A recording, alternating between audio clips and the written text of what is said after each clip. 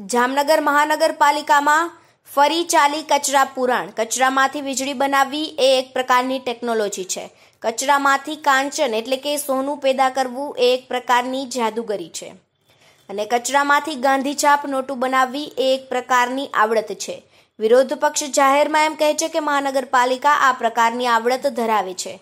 ઘણા વર્ષો પહેલા જામનગર શહેરમાં ડોર ટુ ડોર કચરો એકત્ર કરીને ડમ્પિંગ પોઈન્ટ સુધી ઠાલવવા માટે એન્ટોની નામની કંપનીને કરોડો રૂપિયાનો કોન્ટ્રાક્ટ આપવામાં આવ્યો હતો. આ કંપનીએ જામનગર મહાનગરપાલિકામાં ઘણી કારીગરી કરી હતી અને મહાનગરપાલિકાના ઘણા કારીગરોને આ કંપનીએ કરોડો રૂપિયા પણ કમાવી દીધા હતા. આ પ્રકારના આક્ષેપ પણ વિપક્ષ દ્વારા છડેચોક કરવામાં આવે છે નવાઈની વાત એ છે કે આ પ્રકારના આક્ષેપો વર્ષોથી થતા આવે છે, તો પણ મહાનગરપાલિકાના પદાધિકારીઓ કે કમિશનર સહિતના અધિકારીઓને આ બાબતમાં કોઈ જ ફેર પડતો નથી. બધું વર્ષોથી ચાલ્યું આવે છે, હવે મહાનગરપાલિકાની સ્ટેન્ડિંગ કમિટીના ચેરમેન એમ કહે છે કે આ પ્રકારની અવ્યવસ્થા માટે સોલિડ વેસ્ટ વિભાગના જે અધિકારીઓ કે કર્મચારીઓ જવાબદાર હશે, તેઓ વિરુદ્ધ આકરા પગલાં ભરવામાં આવશે. જોકે ઉલ્લેખનીય મુદ્દો એ છે કે મહાનગરપાલિકાના કોઈ પદાધિકારીઓ, કોઈ પણ કસૂરવાર અધિકારીઓ પર ક્યારેય કડક થઈ શકવાની સ્થિતિમાં દેખાયા નથી. આ પ્રકારની પરિસ્થિતિમાં ચેરમેનનું આ નિવેદન કેટલું વજન ધરાવે છે તે આગામી દિવસોમાં ખ્યાલ આવી જશે. ચેરમેન તથા વિપક્ષના નેતા કચરા પુરાણ નગરજનો સમક્ષ શું કહેવા ઈચ્છે છે તે અત્રે તેમના મુખેથી સાંભળીએ.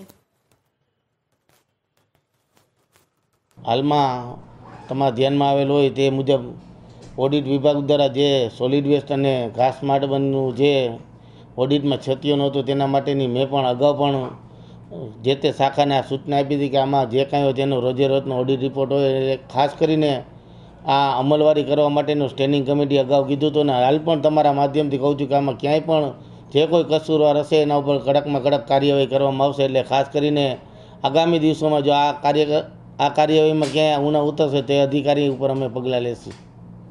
જામનગર શહેરમાં સૌથી વધારે ક્યાંય ભ્રષ્ટાચાર થતો હોય તો હું માનું છું એ કચરામાં થાય છે સોલિડ વેસ્ટ શાખાના અધિકારીઓની મિલીભગતથી થાય છે. અગાઉ પણ એન્ટોની નામની જે કંપની હતી એ જામનગર મહાનગરપાલિકાને લગભગ સિત્તેરથી એંસી કરોડ રૂપિયા જેવો ચૂનો મારી અને એન્ટોની તો ભાગી ગઈ, પણ એને જે લઈ આવ્યા હતા અંબર ને અકબર એનો હજી સુધી જામનગરમાં કોઈ પતો નથી. આ અંબર અકબર એન્ઠોની ત્રણે થઈ જામનગરને લગભગ સિત્તેર કરોડ જેવો ધુંબો માર્યો હતો. આ વખતે જે નવા ટેન્ડર પાસ કરીને જે કોન્ટ્રાક્ટર આવ્યા છે, પાવર લાઇન અને ઓમ કન્સ્ટન આ બધા જ બે બે કોન્ટ્રાક્ટર છે એની પહેલાં તો ગાડીમાં જી જીપીસી સિસ્ટમ હોવી જોઈએ પાર્કિંગ કરાવેલા હોવી જોઈએ, નંબર પ્લેટ હોવી જોઈએ, એના જે જે ડ્રાઈવરો છે એના પાસે પૂરતો અભ્યાસ હોવો જોઈએ લાઇસન્સ હોવો જોઈએ આ કોઈ ચેક કર્યા વગર અંધેરી નગરી મેં ગંડુ રાજા કોણે બધાય ગાડીઓની ફરતી હોય અવરનવર અકસ્માતો કરે છે. જાણે કોઈ કહેવાવાળો જ ના હોય. અધિકારીઓ ક્યાંય મોનિટરિંગ નથી કરતા, એસએસઆઈ મોનિટરિંગ નથી કરતા. કરોડો રૂપિયાના કચરાના નામે ખોટા બિલ બને છે. કરોડો રૂપિયા કચરાના નામે ખોટે ખોટા ટેન્ડર મંજૂર કરે છે. અને કચરો જામનગરમાં હજી અહીંયા નહીં જ છે. કચરા બાબતમાં કોઈ સફાઈ બાબતમાં આપ જોવો છો જામનગરની કોઈ એવી શેરી નથી કે જ્યાં સંતોષકારક સફાઈ થતી હોય.